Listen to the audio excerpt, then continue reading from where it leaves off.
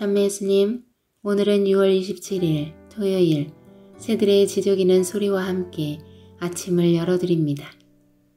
묵상할 복음 말씀은 마테오 복음 8장 5절에서 17절까지의 말씀이며 주제는 말이 가져오는 기적입니다.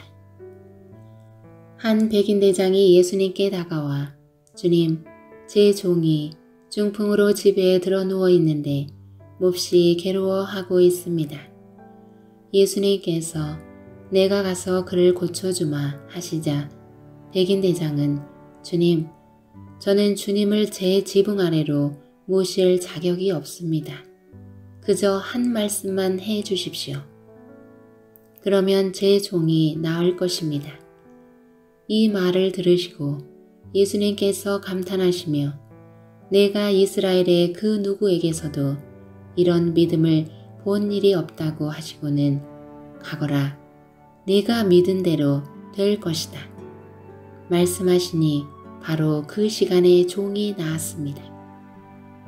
예수님은 당신을 믿는 이들이 앓고 있는 병을 모두 고쳐주십니다.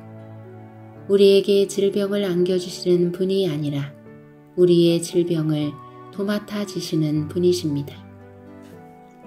병이 들면 자신이 제일 괴롭고 힘이 듭니다. 누군가 대신해 줄 수 있는 것이 아니니까요. 저도 수도 생활을 하면서 아플 때 눈물이 주르륵 나면서 제일 힘이 들었습니다. 그래도 공동체 수녀님들이 있으니 죽도 끓여주고 빨래도 해주고 마사지도 해주니 너무 고맙고 함께 사는 수녀님들이 있어 저는 살았습니다. 수도 생활을 하면서 저의 별명이 하나 있는데 종합병원이었습니다. 물론 지금은 그 별명이 사라졌지만 양성기 때 참으로 많이 아팠습니다. 입회한 지 3개월 정도 돼서 동기들과 겁도 없이 무거운 것을 함께 나르게 되었는데 그 무거운 것을 들고 계단을 내려오는데 제가 있는 쪽으로 힘이 많이 쏠렸습니다. 그래서 그래서 목으로 그것을 받치고 내려오다가 디스크가 걸리고 말았습니다.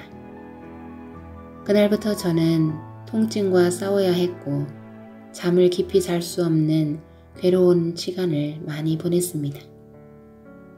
아파 본 사람이 그 심정을 안다고 할머니 수녀님 중에 목 디스크가 있는 분이 제 마음을 너무 잘 헤아려 주셔서 위로가 되고 또한 치료도 잘 받을 수 있었습니다.